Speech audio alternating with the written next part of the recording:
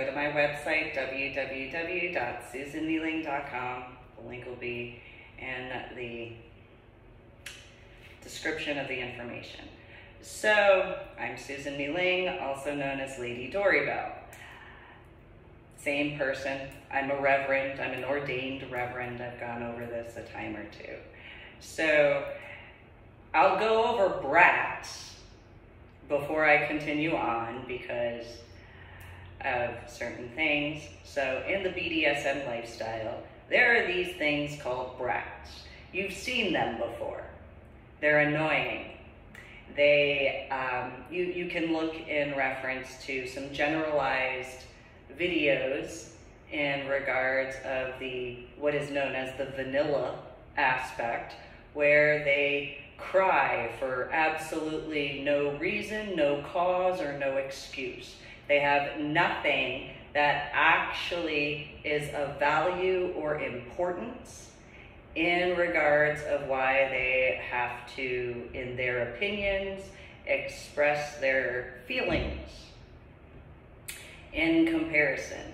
So in the BDSM lifestyle, when brats show up, they don't care about who they impact. They purposefully do things to cause harm in comparison to ever being helpful, to ever being assistive, to ever having any consideration for anybody else.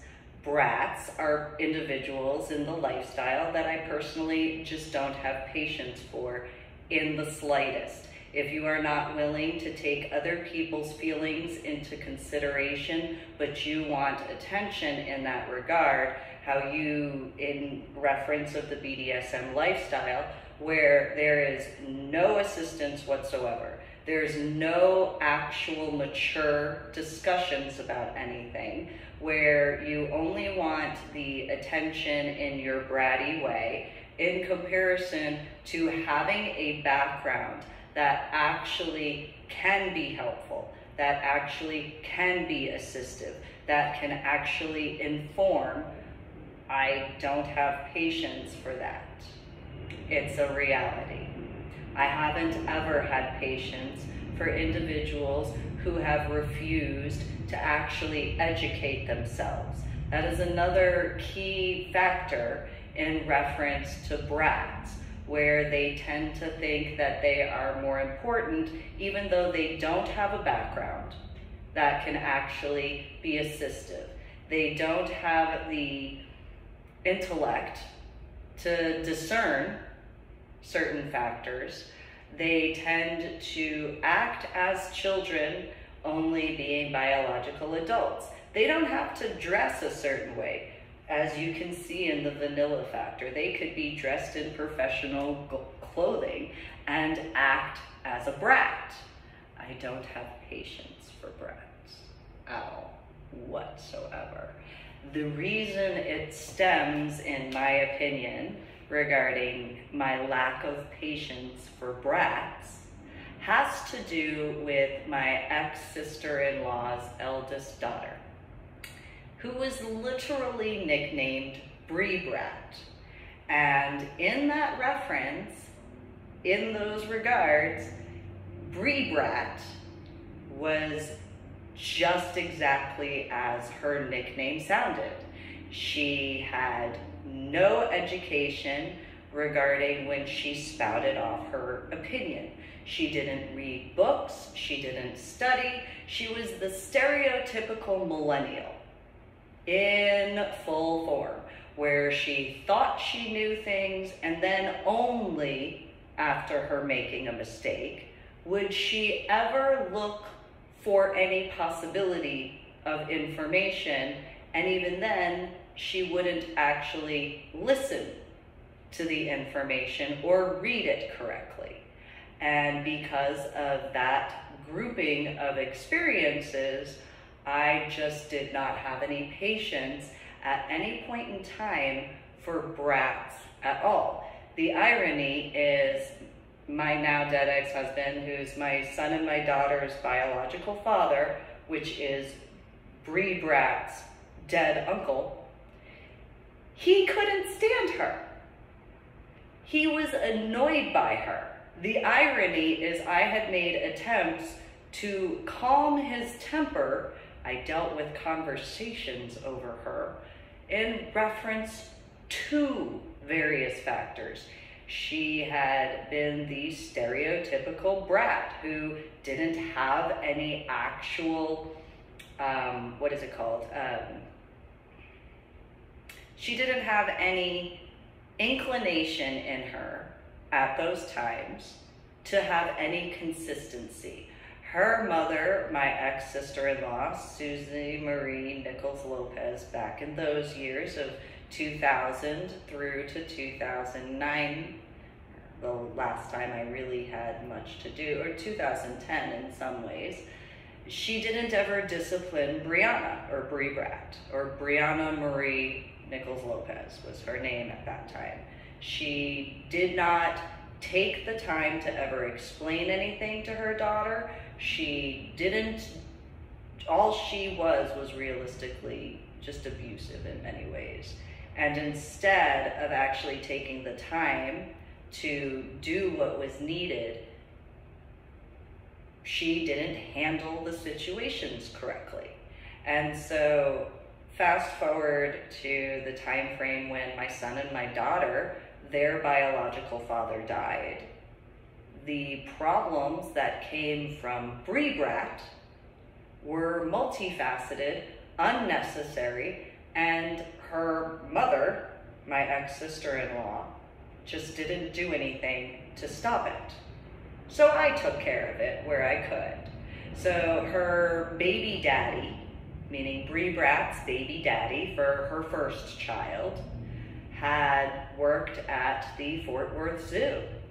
And when, in reference to my daughter having had the field trip through McCoy Elementary School of Carrollton Farmers Branch Independent School District, I had made the choice not to sue anyone, even though all of my ex in laws, meaning in reference to in Fort Worth, Texas, my ex mother in law, my ex sister in law, as well as my ex sister in law's eldest daughter and the baby daddy, had made the recommendation for me to sue the Fort Worth Zoo, as well as for me to sue McCoy Elementary School and Carrollton Farmers Branch Independent School District.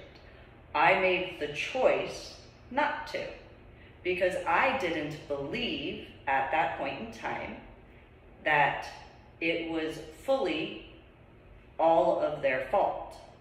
I believed that there were extenuating circumstances that needed to be gotten to the root of the actual situations, the actual causes in those references.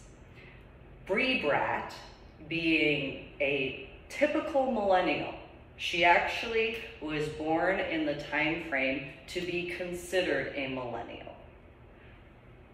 Had acted, that's hence the term Brie as a brat. So in the BDSM lifestyle, those who understand brats, they show up to events. They have absolutely no background whatsoever. Not necessarily in the BDSM format, just they don't have a background in anything. They have a life that they've lived, but they don't have experience. And they usually want someone to discipline them and then they don't care about certain things. As a leather dominant female, I just have not ever had any patience for those types. When I had officially, as a biological adult, gotten involved in the lifestyle, I made sure to educate myself I made sure to go to classes and demos. I made sure to read books that were recommended to me to read. And it was extremely informative. I have the aspects in regards of certain memories before my head injury on Palm Sunday in 2000 and all of those factors, but I do not have patience for brats. I grew up with my biological sister. That was enough. I didn't need anything further than that. That was enough for me to not like brats whatsoever. So if you take a look at my journal blog, The Ornery PSA, on my website, www.susanmeeling, you can find a few references that I have gone over in that regard. Brats also tend to not care who they impact. Brats tend to also not take into consideration what is actually important.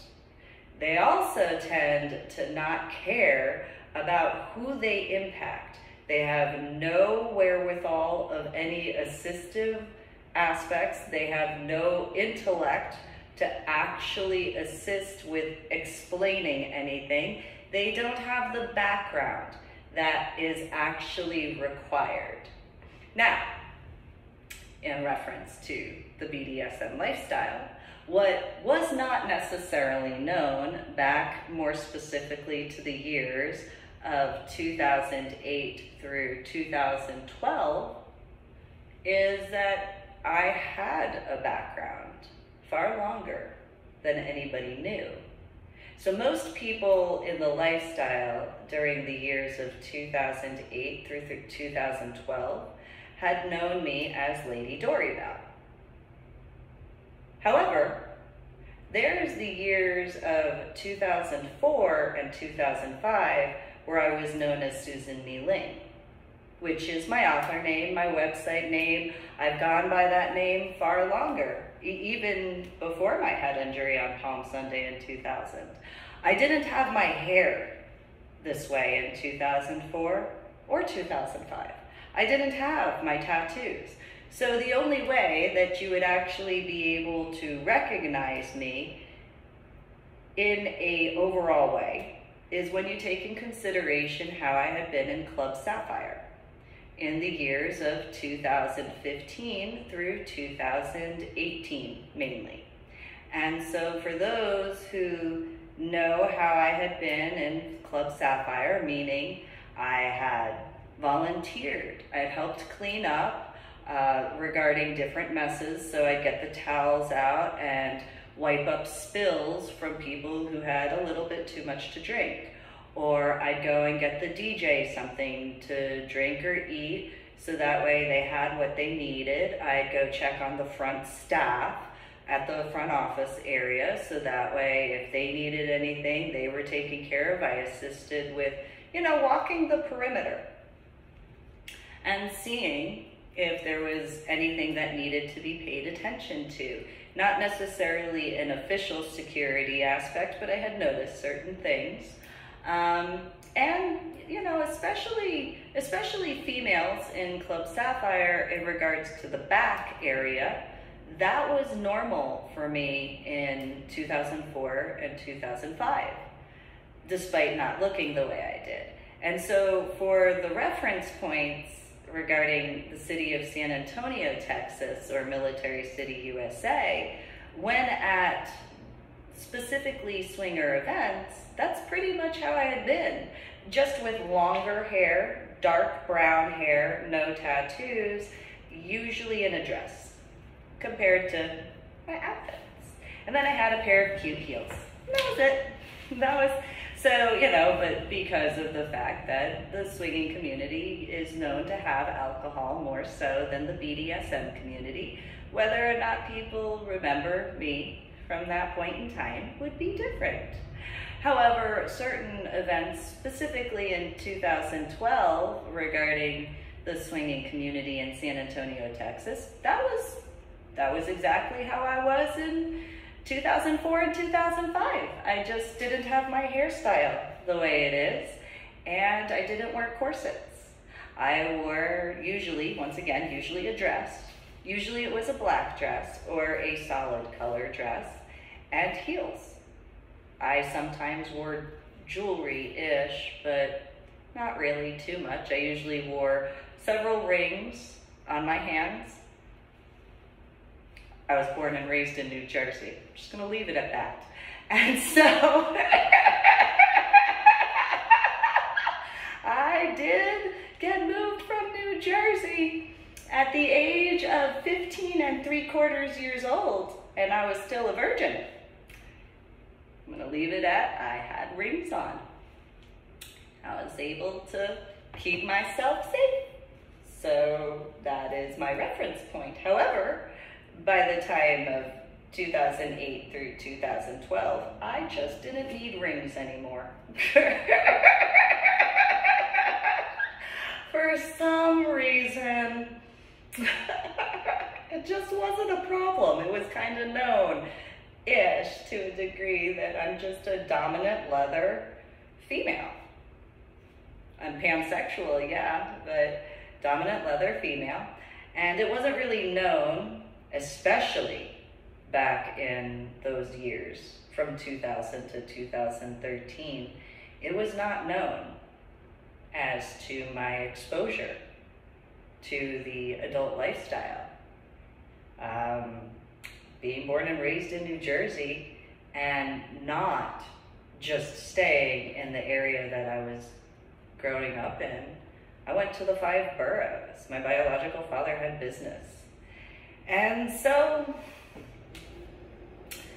um, he had gone to the School of Bulova. He did jewelry repair and watch repair. And I could make a joke. It's not that he didn't know how to defend himself, but I can make a joke. There's a reason why I don't need to wear rings anymore, because I may have hypothetically grown up as that ringer type.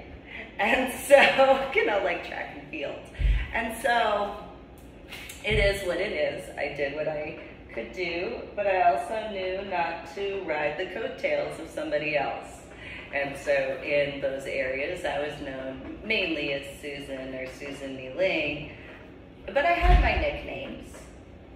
You know, like usually it was Shorty. or, or, you know, whatever. Anyway, or Cuz, but that just is what it is. So I, I very much know the difference between the BDSM lifestyle and the swinger lifestyle because certain aspects of the two lifestyles are very different, but they're very similar. The BDSM lifestyle, there is the expectation of you being truthful, just as much, but very much more in the swinger lifestyle. The swinger lifestyle expects it far more than the BDSM lifestyle in certain references because when you show up in the BDSM lifestyle, if you choose to have a particular theme for yourself during an event, you know, some people show up as a brat at one event and then show up as a switch as another event and then a they little and they have those different aspects. In the BDSM lifestyle, I just showed up as myself. I, I didn't really need those labels. Um, there were others who wanted explanations as to who I am. And okay, I'm a dominant leather female, pansexual, open minded, spiritual individual who's an ordained reverend that does a bunch of stuff, and I'm a mom. And I was in the army, I'm medically retired. you see how that list could go on and on and on and on and on. So, in a lot of ways, when I entered the BDSM lifestyle, I did enter by the technicalities of in more of a swinger mindset. Especially when you take into the consideration that swingers have that particular thought process where it's just you come as you are. You are yourself, it's expected to be in truth. It's it's it, the minimum is you're being truthful as to who you are. You are being truthful as to your background. That's the minimum.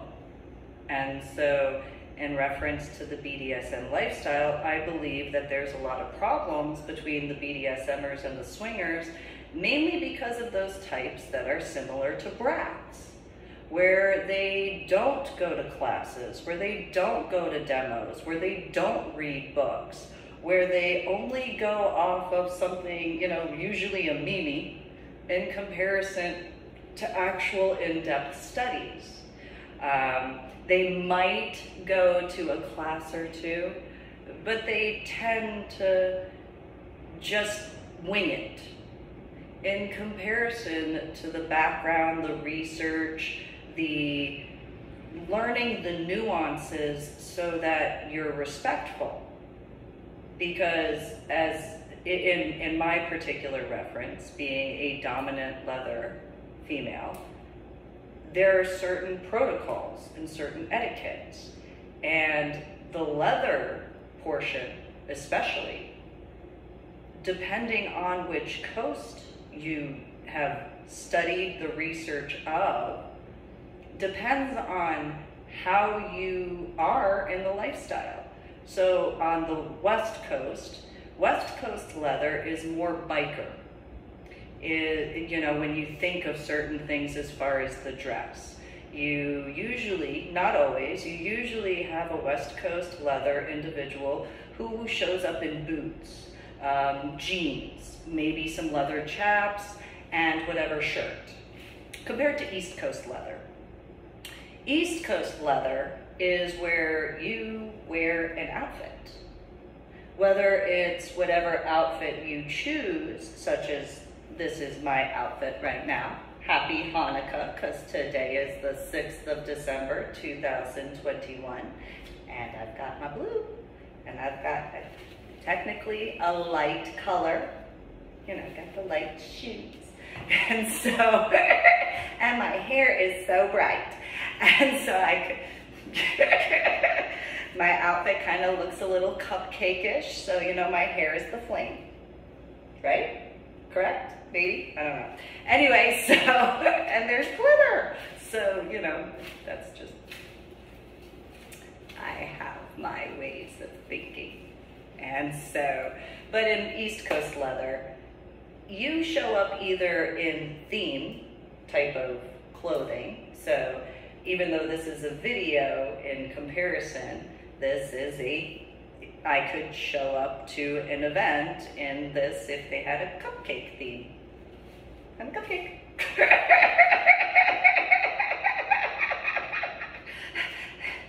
or, you know, I mean, I guess it's kind of, I mean, I don't know. I mean, you know, this, this could be I don't really know what type of outfit this would be per a theme, but um, well, unicorn, I guess. There's that because you know unicorns have bright colors, and and um, glitter. That'd be a theme. Um, but yeah, you know, uh, East Coast leather is usually where you show up in theme. And you don't necessarily have to wear a corset. That's kind of the misconception when it comes to East Coast leather. It's that you show up in theme outfit. So, you know, when you show up to an event, you show up to the event in whatever you particularly feel comfortable in for that particular event. And East Coast leather, you know, you don't always wear a corset, though there is the reality that there are, in reference to female dominance, they tend to wear corsets, but they don't always. A lot of female dominance on the East Coast, especially in when you have the female dominance that are in the BDSM lifestyle as well as the swinging lifestyle, when they show up to an event, usually, from what I remember, they don't show up in a corset per se. to themed events. A lot of times, they actually show up in a non corseted outfit. Sometimes they do, but it depends on the event, it depends on the location, it depends on the type of location. A whole bunch of things get taken into consideration. And then it also is taken in consideration whether they're going to be inside the majority of the time or outside. So if they're inside the majority of the time, because you know certain locations have patios or balconies or what have you, they'll dress appropriately for that. But if they're going to be in and out of the location, they're going to dress according to the weather. And so, according to the weather, their outfit will be arranged in that way. And so, whereas West Coast leather, they usually just show up in, and not always, but they usually show up in jeans and a t-shirt, leather, leather chaps over their jeans, what have you. There are some who do dress up, but usually they're in the LGBTQP aspects in the West Coast leather, and that's usually I would guesstimate um, that's that's that's a different terminology in the West Coast leather for um, the ones that don't usually wear the jeans or the leather chaps in leather aspects of the West Coast. Um, as far as the dominants, the submissives, on the other hand, they tend to wear whatever they tend to wear. A lot of times they still do wear jeans and a t-shirt or jeans and the leather chaps, but they do things differently for their outfits and whatnot. Whereas East Coast leather, there are certain similarities. A lot of times, actually, when it comes to a submissive that is, especially in the male capacity, uh, they usually wear a suit. Usually they wear a business suit um, on the East Coast leather, and or they wear a pair of slacks and a button-down shirt or a polo shirt. That's usually the East Coast leather version when they go out to events, whereas a female um, dominant will wear however she chooses to wear always. Um, submissive females, usually when they show up, it is varied. They're kind of more similar in attire to a combination of West Coast leather submissives mixed with a little bit of the LGBTQP. So they, they have their own style, but because of how many different types of female submissives in the East Coast leather, they're they're fairly predictable in certain references. Not being rude, it's the clothing is fairly predictable.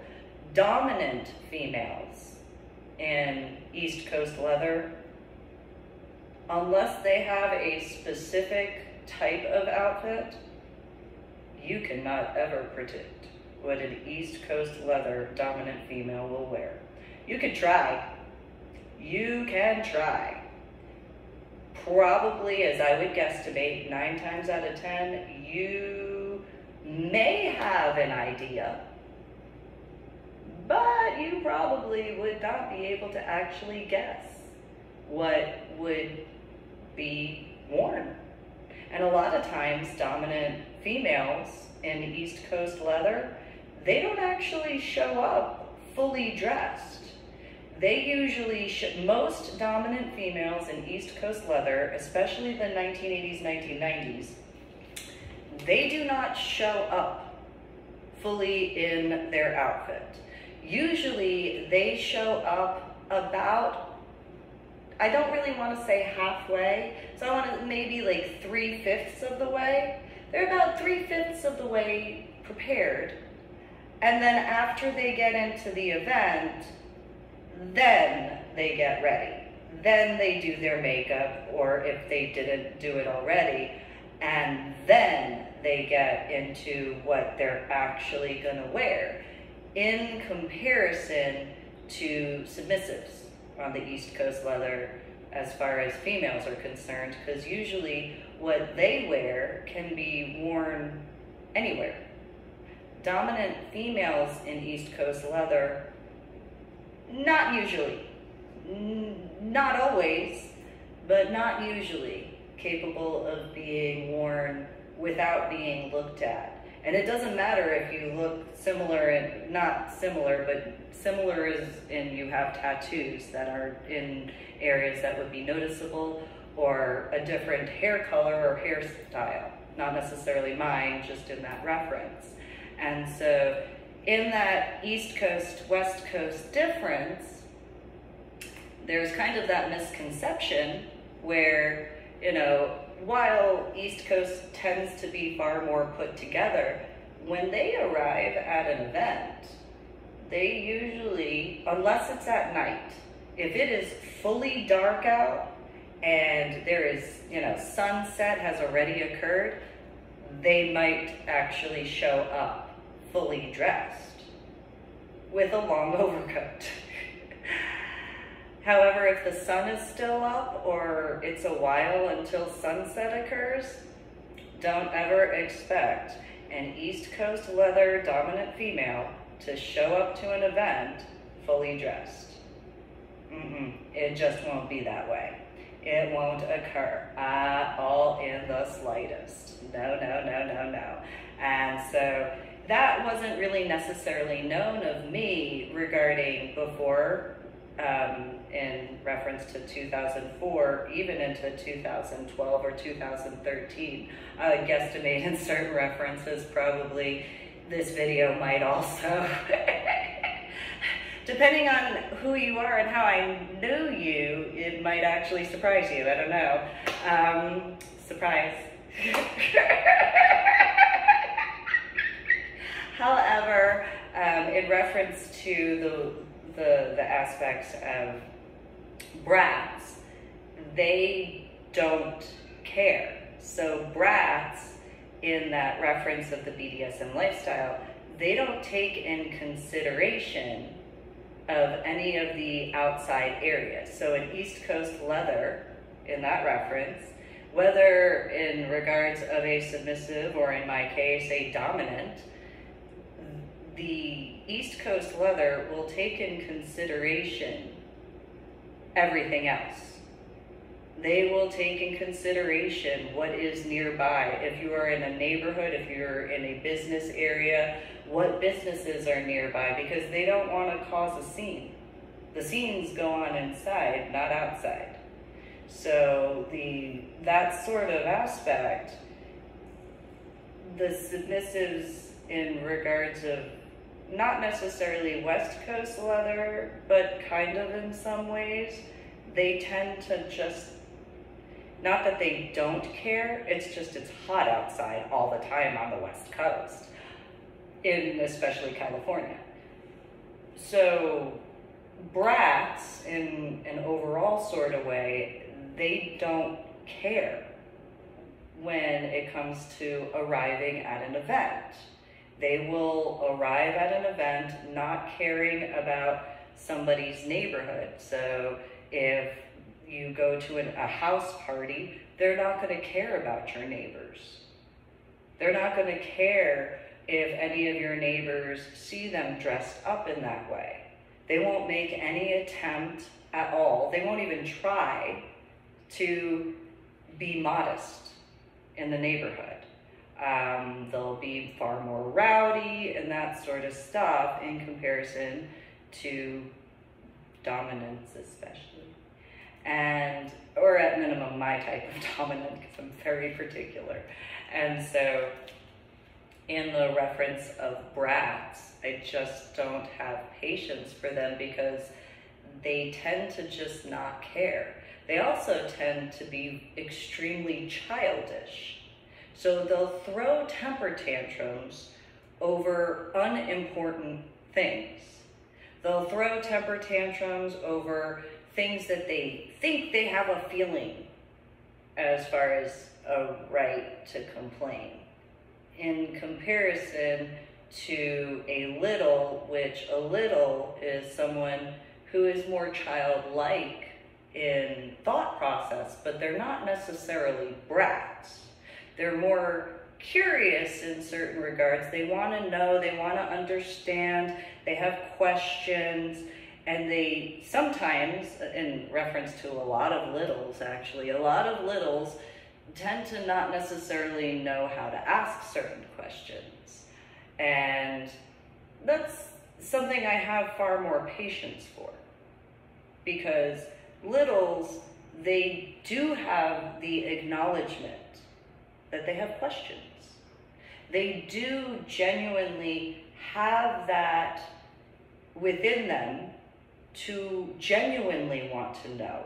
Not in a negative way where brats do. Brats want to know in an annoying way so that way they can pester and be a nuisance. That's why I don't like brats.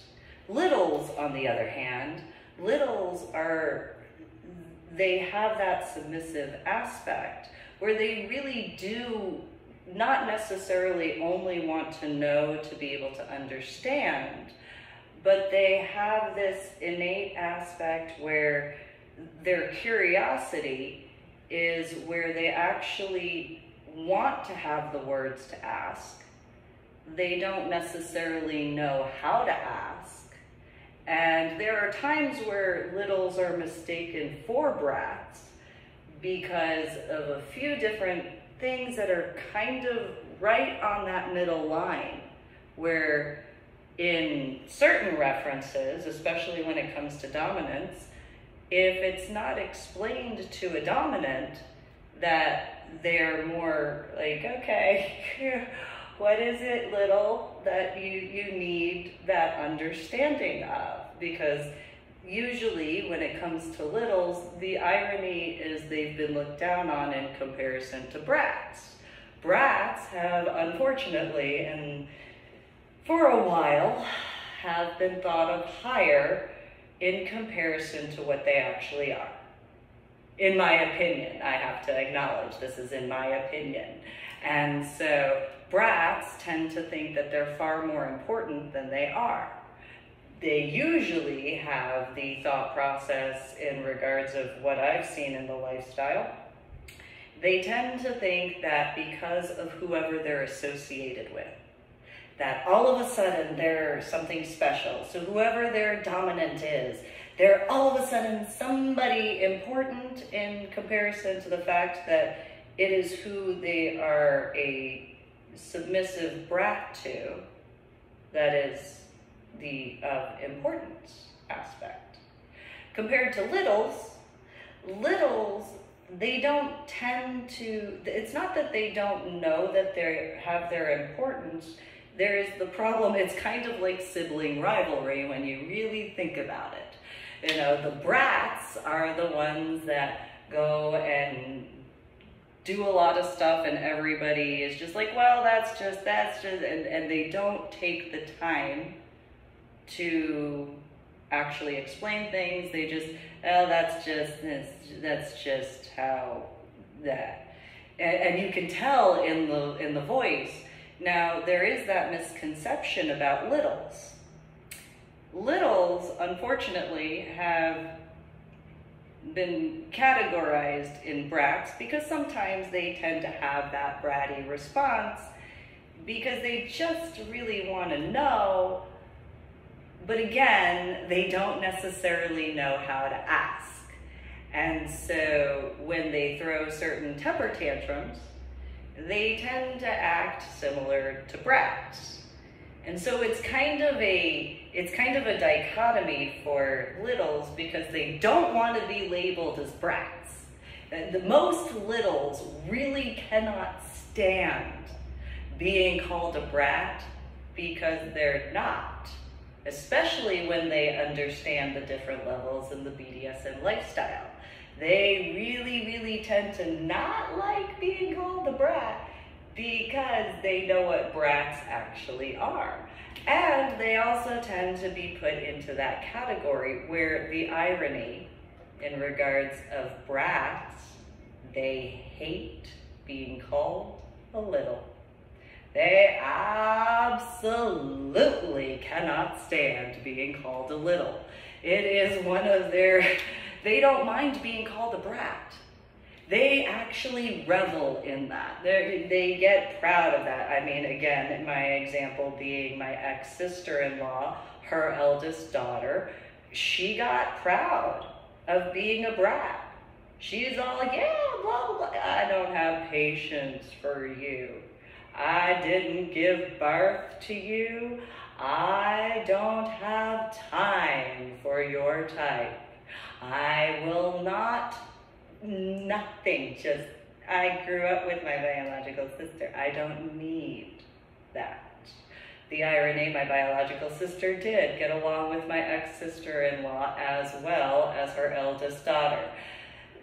The, though that tends to backfire for brats because they're so similar. Because when brats get together, unlike littles, littles, when they get together, it's usually they just want to play. They just want to have a good time. They just want to have fun. You know, in comparison to brats. Brats tend to just want to stir up problems, be over dramatic, have absolutely no actual ability to give any assistance. They tend to think that they could, but they won't ever acknowledge their weakness unless they're forced to acknowledge their weakness. Whereas littles, they tend to, they tend to. They, they tend to just, they don't necessarily verbalize it, but they tend to acknowledge it in comparison to brats, which I just don't have patience for brats. It just really is something I don't have patience for.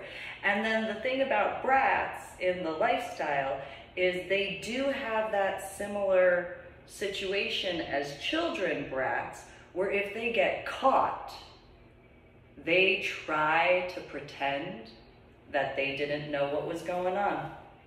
They try to pretend that they didn't, oh, well, what? What do you mean?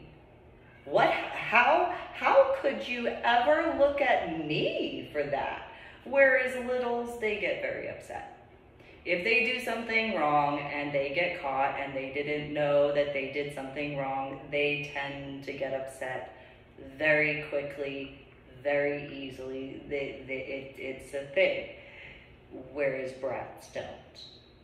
Brats will, no, this is, and they go into the bratty behavior. this is why I don't have patience for brats, because you have to accept responsibility for your choices. You have to acknowledge certain things, and brats tend to not want to acknowledge that. Whereas littles, it's not that they don't want to acknowledge it, sometimes they just didn't even know that that was a thing. That's usually the case when it comes to littles in the BDSM lifestyle. That's why I have far more patience for littles than I do brats. There's so many other reasons, but that's a brief-ish, very brief example of. And it, it, in my opinion, I wouldn't know officially, I would guesstimate in reference to brats, they just didn't ever get the discipline. That's why they seek that. That's why they enjoy that masochistic situation where when they get in trouble, they try to balk back in comparison to taking responsibility because inevitably they know there's some sort of attention in comparison. Whereas littles, they tend to not want that attention. They don't want to get in trouble. They they genuinely, you know, if, if they if something goes awry, they tend to, well, what do we do? What do we do? In comparison to brats who try to only propel everybody else into trouble in comparison and not ever acknowledging any weakness, not ever taking responsibility. And even when they're caught, caught, fully caught, they tend to still balk back That's my experience from what I've learned from brats in regards to the difference in littles. Where littles, when they get caught, they tend to want to hide. they tend to, to, to, to, well, what? I, I don't know. I don't know. That's what they tend to do. I've noticed this. I've noticed this. And in the swinging community, littles, unfortunately in some ways, again, similar to the BDSM lifestyle, they tend to get lumped in with brats when they're not brats at all. they, they can throw temper tantrums, but not the same way brats do. And so in the lifestyle, littles tend to just, they, they're just softer. They're kinder. Whereas brats, they don't care. They don't care what they mess up. They don't care who they hurt. Just think of childhood. I mean, realistically, because especially when you take in consideration certain aspects, think about childhood. Think about who was bratty in your elementary school. And then take a look at who identifies themselves as a brat. And see if you can find any biological adult portion in those references compared to littles. Littles tend to be quieter. they don't, and I don't mean that they don't speak, they just tend to, they, so there's Rugrats, okay? Those who know Rugrats, the, the cartoon Rugrats, Littles are kind of like the Rugrats. Brats are kind of like Angelica. And I would guesstimate that that would make so much easier sense in those references. So like brats in adult type of ways would kind of, so for those who know Daria, that particular one, brats tend to be like Quinn and Quinn's friends. That's, that's, that's the teenage version of brats. Whereas littles, I wouldn't really put them in the Daria category mainly because Daria was older in that reference. So you have the Quinn reference for brats though. and those who have been seasoned in the lifestyle and know a thing or two, they kind of tend, male or female, to have a bit of a Daria view. They tend to be more similar to Daria, especially the dominance.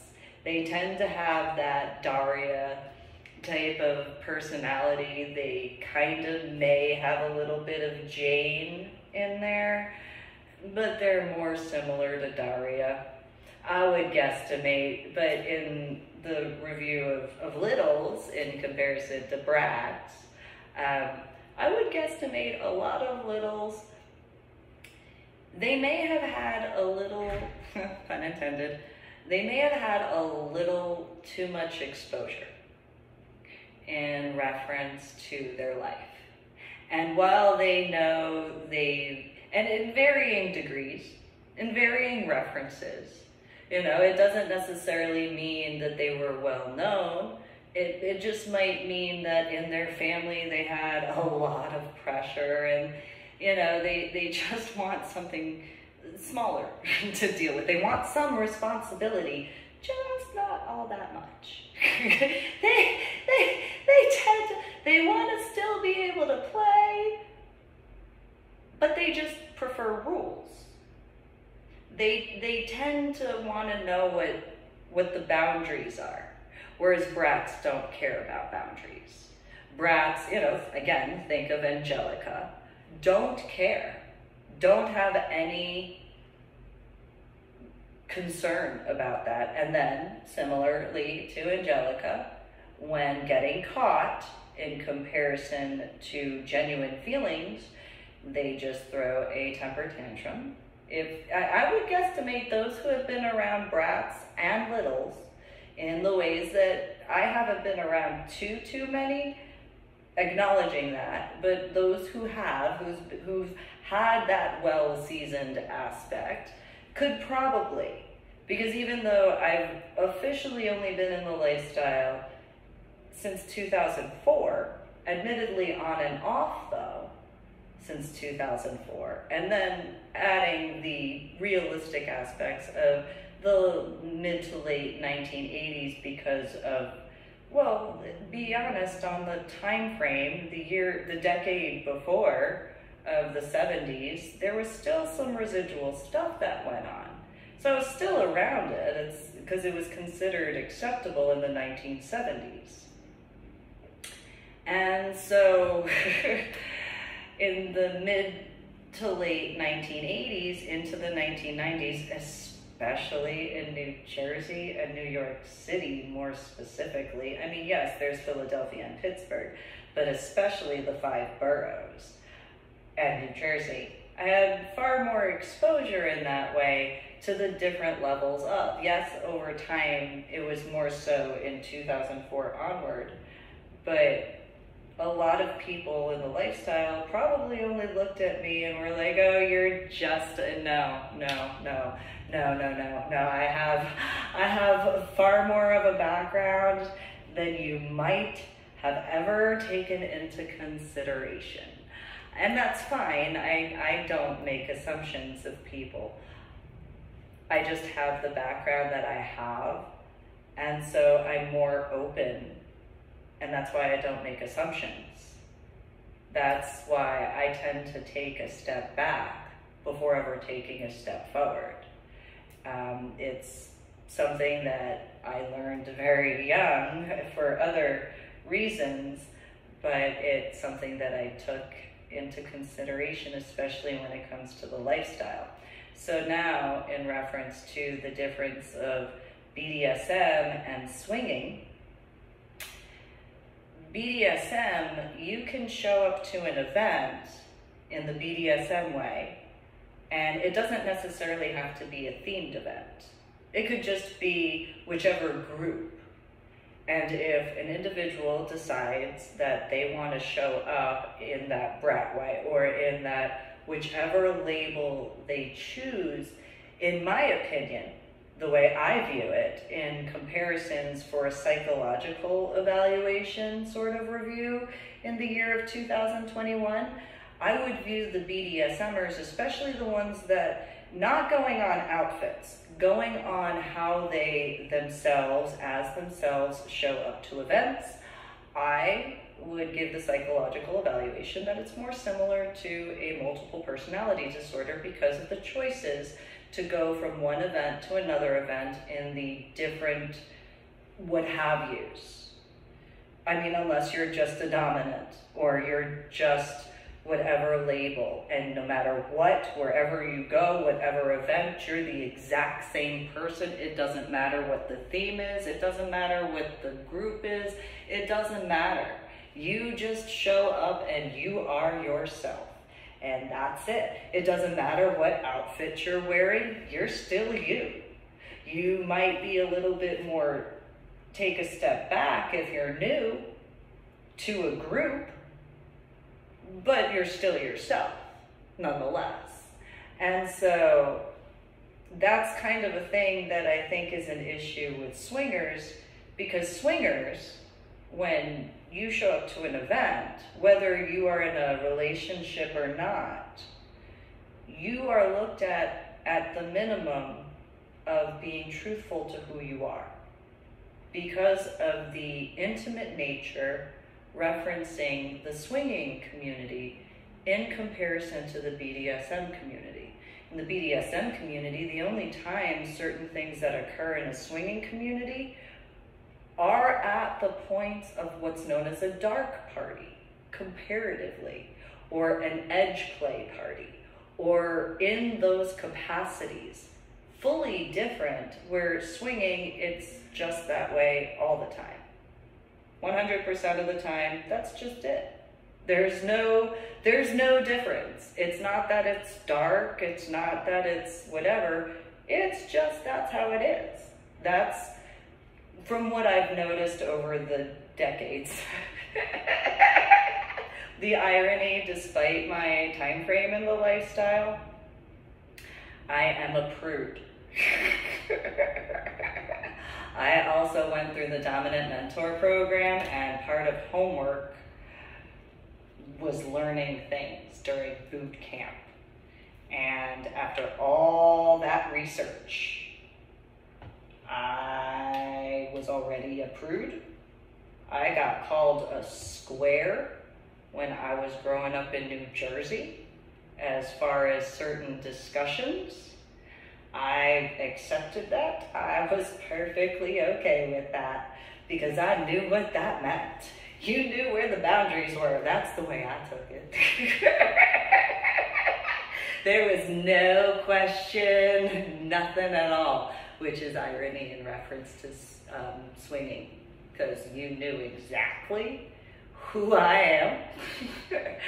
there was no mistaking that. The only difference is if I was new to an area or to a group, and that's it. And it's not really a difference, it's more in the I'm not here to step on anybody's toes. I'm not here to disrespect anybody. I'm not here to take anyone's light away. That's not who I am. That might be what some other people might think. That's not how I am. And so, if in reference to the years of 2008, more specifically, or 2009 uh, through 2012, yeah, okay, I did a lot of modeling. I explained the reasons why. But if you met me in person, comparatively to the modeling, this how I am in regards of the, the video stuff, I would guesstimate more people would probably say that that's pretty much how I am normally. Um, writing is very different because that's, um, the, in certain ways, it is therapeutic to me. I did have a journal when I was a child, and so I did a lot of writing, but I also did it in a different way. I was extremely mathematical and extremely scientific. And I had done a lot of studies in reference to religion. And so there were all these alchemical kind of ways that when it came to my what would be considered journals, um, you wouldn't really know. you you might think I was doing homework, and in some ways I may have been, um, but you wouldn't necessarily know because of how many classes I had been involved with, how much I actually had read. So you could look at my journals back as a child, especially my handwritten ones, because that's what it was back then. I didn't ever have an electronic journal. And so that sort of stuff, you you might think that, and then it would take years before you'd ever look into that. That probably um, makes sense in some ways now. However, um, going back to the, the situations of swinging in comparison to BDSM, this is the reason, in a lot of ways, I tend to lean towards the swinging aspect because of that genuinity, because of that requirement where you actually, and not everybody requires it, but there kind of is. There's still certain levels of BDSM in swinging. So, for example, people who have been in the swinging community for a while, you could see it with certain males or females in this reference. If they've been with someone multiple times and they show up and they're like, you in the back in 10 minutes, that sort of thing, that's very BDSM in a different way, in a swinging capacity, comparatively to the BDSM ways. Because even in the BDSM ways, as well as swinging ways, you do have to have certain negotiations that occur. That is a mandatory for the consensual aspect in comparison to brats, where brats don't care about consent. I would guesstimate that more people who could evaluate that would be able to tell that brats really tend to just not care about consent when it's the most important factor. Fully the most important factor. The second most important factor is truth because you have to be. You have to be able to verbalize what it is that you're looking for. That's why there's the difference in regards of littles because they're acknowledging that they don't necessarily know the words. And so that's where they seek that. In comparison to brats, where they tend to go in and be disruptive in a extremely abrupt way, where they tend to have the ways they choose and don't take in consideration anybody else at all. That's, again, my perception of. So I hope that this kind of ish, informative ish YouTube video thing has made more sense to a bit of a clarification because I know that there are those who can go back and forth between the BDSM and the swinging communities because they understand that. And there are those that I would guesstimate would prefer to have that understanding and knowledge, whichever community of, whether you're in the BDSM community and swingers show up, or vice versa, where you're in the swinging community and BDSMers show up. The problem is, is you have to be willing to communicate. It's, it's mandatory. And so that's kind of, I guess, in some ways an oddity, um, especially in regards of scuba diving. You know, in BDSM, you tend to have, if you're a submissive, you tend to have something such as a ball gag in your mouth, if you're a submissive. I am not a submissive, I am a dominant. Let me clarify that. So in regards of scuba divers, they could be whichever capacity of.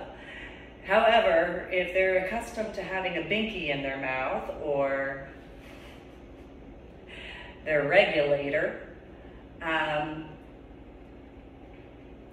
it's the communication that's extremely important.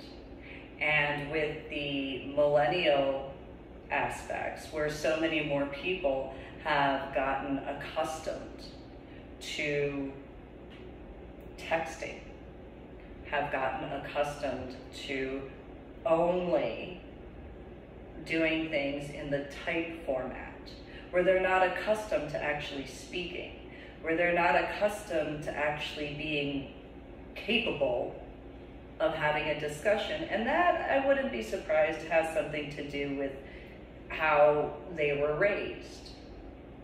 And so here, here's a piece of technology, here, go play with that instead of talking. That's not how I raised my son and my daughter. I raised my son and my daughter to speak with me. Situations that occurred are what situations that occurred. I did everything I could as best as I could. So when in reference of the lifestyle stuff, when I was involved, not them, but keeping in mind that my son and my daughter eventually were going to be biological adults. Whereas I know that there are some people who, when they have a child, they think that their child is going to remain that age forever. In their memories, yes. In their thoughts, yes. You will remember when your child was toddling around and doing certain things. You'll remember when your child, what have you. When I had my son and my daughter, I knew that they were going to grow up. I knew that there was going to be a point in time. I had wished until they were 18, but I had a feeling. I had hoped that I'd be able and capable to make sure that there were ways that my son and my daughter knew that I did everything I could for them as best as I could to explain where I could. Um, so that way they knew that no matter what, they weren't necessarily involved with certain things, of course, because of age, because of whatever it was. But I knew that they were going to grow up. I knew that at some point in time, they might have certain individuals in their life that would introduce them to certain things. And I wanted to make sure that my son and my daughter were as safe as possible. I wanted my son and my daughter to be educated. I didn't want them to be ignorant. I didn't want them to have that as a problem. I wanted them to be able to make well informed decisions. And in turn, knowing that they were going to grow up going to school, wherever they were going to go to school, meet whoever they were going to meet, what my preferences in comparison to situations, nonetheless, I wanted to make sure that my son and my daughter were well equipped to be able to verbalize in a mature way.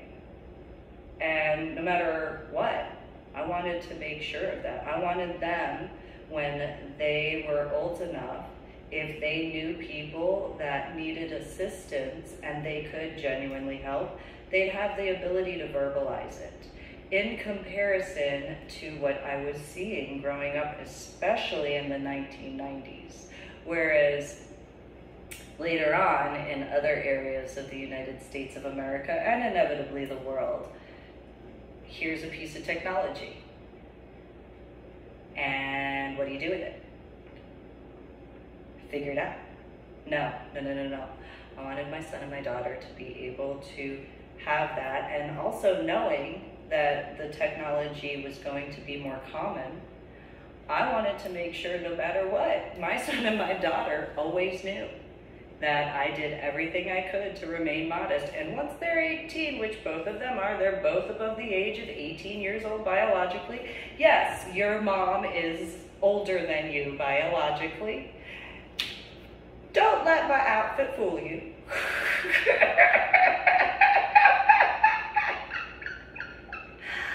However, I'm still modest. And I know that there are other situations, such as those brat types. Be smarter than them, please. Please do. Avoid those brat types as much as you possibly can. it's a preference of mine because I don't have time for brats. I don't have patience for brats and I just won't ever like a brat. That's that's the that's the reality. I just I won't. I just don't have the patience for it. I really don't. It's a thing, and um, it is what it is. I have more patience for littles, by far, because littles just don't know any better, and they they acknowledge that. Where brats seem to think that they know everything. And only when a brat essentially realizes that they've been being a brat can there ever be that understanding for themselves. That's the only time that they're capable of actually evaluating themselves. Because once a brat, and I haven't actually ever seen this, this is just a, this is just a guess. Once a brat is fully made aware that they have just been being a brat. In comparison to littles, a brat will most likely, in my guesstimation, throw some more temper tantrums, be upset a whole bunch more. Um, I'm not to do this. I'm not to do that. You know, that sort of stuff. I don't want to sort of just uh, forget this. This is stupid and da da da and wasted this and rar and whatever, which is kind of what littles do, but in a different way, because littles inevitably and those who are patient with littles, they tend to, well, if it's needed, it's still needed. It doesn't change it. Brats are just, yeah, and that sort of thing. And then they throw their temper tantrums and they try to be all big man on campus sort of thing and just look at what I can do and rah, rah, rah, rah, rah, rah, rah, while still being a brat and not acknowledging the problems. So when brats inevitably I would guesstimate because there has to be a point when they realize that they've been a brat this whole time. Um, when they have that recognition of their situations as to what they have caused in comparison to earned recognition, I would guesstimate they probably would throw another temper tantrum or two, maybe three, because they're brats in comparison. And then when they realize the actual impacts that they've had in the negative way, then I would guess that they could have the point where they look at what littles do and don't necessarily want to acknowledge being a little because, yeah, because that's how they view that, I would guess. And so that's an evaluation that brats have to do for themselves. And if, if, at no point in time, because I have yet to meet a brat who has ever actually acknowledged that they were being a brat. That's kind of a, I have, I, I, and I don't mean in the, where they're proud of being a brat. I mean where they acknowledge that they've been a brat, but in a little type of way, where they actually are genuinely remorseful, genuinely take in consideration certain things, genuinely do an internal evaluation of where they've actually been a brat, where they actually assumed however they chose to assume, wherever they had gone, whichever pathway of. I haven't, that would be something new to me. that would be a first. I can acknowledge that would definitely be a first to ever meet a brat that would actually take that time, actually internally evaluate things, actually acknowledge that they didn't know any better because, you know, most brats will be, I know this, I did that, and rah, rah, rah, rah, rah, that sort of stuff. That would be a first. that would be. I, I don't know. I have, I, I, I mean, I'm sure it could possibly happen.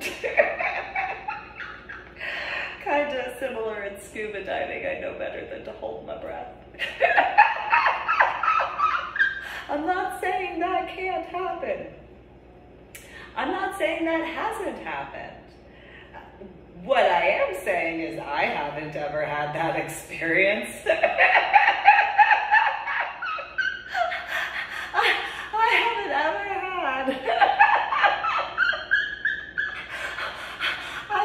apologize. I have to laugh because I just can't.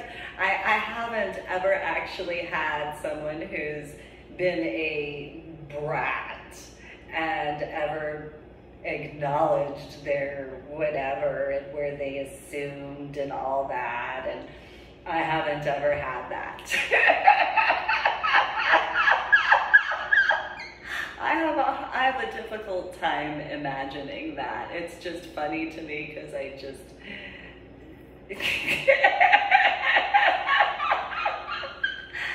that hasn't ever occurred and not in not in my lifetime not not in any of my experiences. I haven't ever ever ever had that. That would be hilarious though because i just can't actually envision how that would look so because of the way i am it's just well sure Whatever. Sure. Okay. Whereas again, littles tend to just, you know, they tend to just, you know, they tend to self-evaluate more often than a brat would, obviously. So uh, that's my opinion in reference to the BDSM and the swinger aspect, where swingers automatically think of BDSMers in that brat category. Whereas, and, and that's kind of, and, and that's kind of what I, I, I have an opinion of regarding swingers thinking that all BDSMers are in that brat category because they don't necessarily understand or even know the difference regarding the different leather types, the different, um, they might know of the different labels to a degree, but because of how many labels there have been, that's kind of where I have the opinion that I would guesstimate that most swingers would automatically have the sensation, well, okay, that you're just that. And it would take essentially somebody who'd be different in all sorts of capacities that would bring that forward. So that way, swingers, they still would have the ability to discern, you know, for themselves what's more comfortable for them, but having more of an open mind in comparison because who knows what their normalcy has been in reference to the BDSM lifestyle. And then with the amount of, what is it, the adult film industry portions, having that kind of dichotomy with the stuff as far as that millennial stuff, I could see where swingers might have that. Well, are you are you what you you're well what in that sort of way, in comparison where I could see, and I would guesstimate this has happened more often than not, where if a swinger going into the BDSM lifestyle be like, um, no, I'm not that, no, I'm not that, no, I'm not that, no, I'm not that, no, I'm not that, no, I'm not that, no, I'm not that, and then kind of in certain ways being confused by it because of how many different labels, how many different types, the different backgrounds, the and, and, I could see where swingers would be like, well, I would like a psychological evaluation on this, this, this, this, this, this, and this, because I want to know why you would think that would be acceptable, and I want to know why you would think that is normal, and I want to know why you would do this, and I want to, I would, I would guess, I would guess, in comparison. So you guys have a good one. Enjoy your day. Happy Hanukkah and happy holidays in general. Merry Christmas, Happy New Year. So irony that this is the eighth day and glitter.